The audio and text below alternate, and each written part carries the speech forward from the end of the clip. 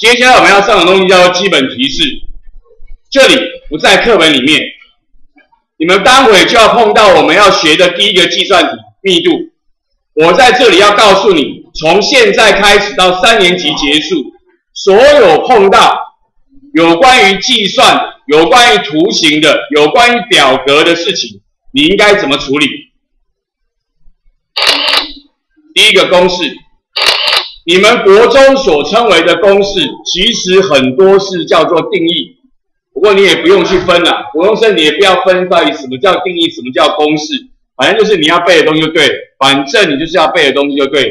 那些你心目中的公式，就你要背下来，你要会背才能够进一步的解决问题。当然，你必须要了解公式到底是什么。来，这是你们大学学第二公式，d 等于 v 分之 m。什么叫做把公式背清楚？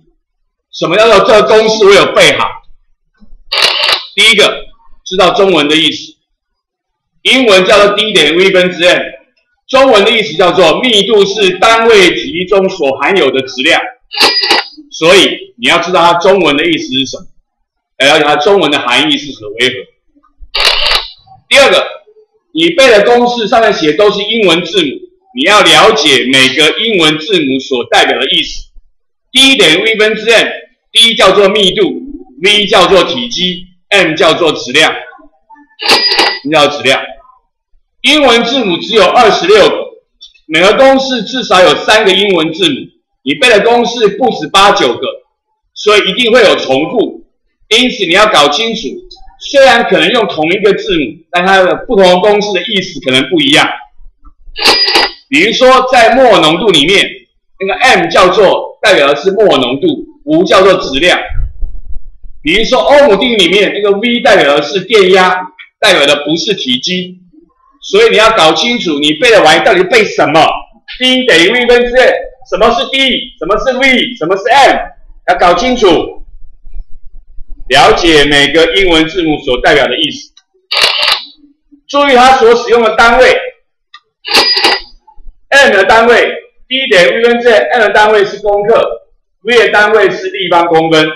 你国二所学的东西，大部分都是用公分、公克；你国三所学的东西，大部分都是用公尺、公斤。用的单位是什么？不要弄错，不要弄错。那还有一些单位是有名字的，还有什么要换算？比如说，这 m 用的就是公斤，不一样，不要弄错。资优生第一次学测考完，回来问我问题，问了好多题，他就被我骂。为什么被我骂？他问十题，有五题。是把金画汤，另外五题全部单位弄错，该用牛顿用公斤，该用公斤用牛顿，该用公尺用公分，该用公分用公尺，所以就算错，跑来问我怎么回事？当然错啊，单位全部都不对啊。注意单位。第三个限制条件，有的公式是有限制条件的，有些是没有。这个公式没有条件，任何东西的密度都是 d 等于 v 分之 m，你再把 v 放进去，m 放进去，答案就出来了。没有限制条件，但有的公式有。这个公式下学期最后会教，浮力等于物重。这公式只能用在浮体，丢到水里面会自己浮起来的才能够用，其他情况不能用。这个公式下学期教，P 等于 a 分之 F。第一，它可以用在任何的压力计算，任何压力只要找到面积，只要找到力，就可以算出压力。但是这个力必须要跟面积垂直，你要找到有垂直的力，限制条件，F 要垂直 A，不垂直的不能用。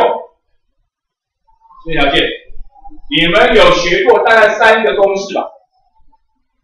三吧，三个公式，加加浮力化是四个公式，是有限制条件的。方向一定要平行，方向一定要垂直，只能够用在某种特殊情况，要搞清楚它的限制条件及公式的要领。